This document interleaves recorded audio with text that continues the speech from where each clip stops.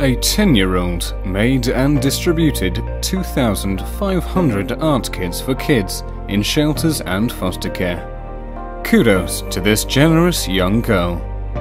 The products and services mentioned below were selected independent of sales and advertising.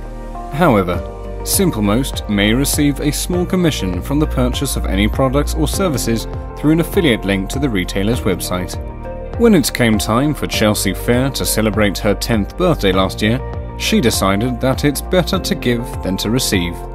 In lieu of gifts, the Danbury, Connecticut 6th grader asked guests to bring art supplies to her birthday party in August of 2019.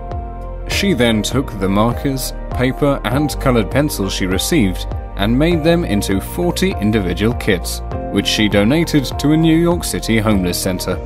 That was just the beginning for this generous young girl. She launched her own non profit organization, Chelsea's Charity, and has since donated supplies to more than 2,500 children in need at homeless shelters, foster care agencies, and school districts in more than 23 states.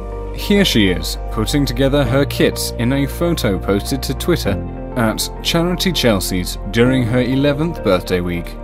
Chelsea is currently celebrating the first anniversary of her charity. Her family, including her nine year old brother Corey, all contribute to the cause.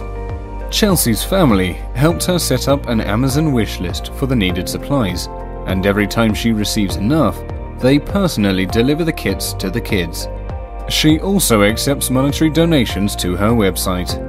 She has also used other methods to collect art supplies, as in this Twitter post where she set up a table at the local Staples store. I feel good inside, knowing how happy they are when they get their art kits, Chelsea told CNN. I have definitely grown as a person because of this.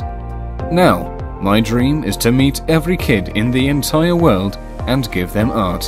Who knows, maybe if we do that, and then our kids do that, we'll have world peace. Since coronavirus pandemic hit in March 2020, Chelsea and her mum have been mailing the kits instead of delivering them in person. During this challenging time, she's more motivated than ever to help give kids a creative outlet to cope with stress. Here she is, working on her own art in a photo posted to Facebook on June 8th. In the post, she expresses some sadness at missing events cancelled due to the COVID 19 pandemic, but notes that making the kits helped boost her mood. The lockdown really heightened Chelsea's motivation to keep making the kits.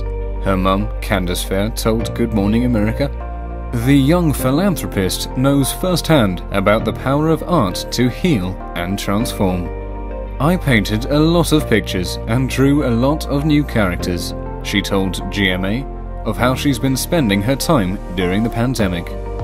Art really helped me get through those disappointing times,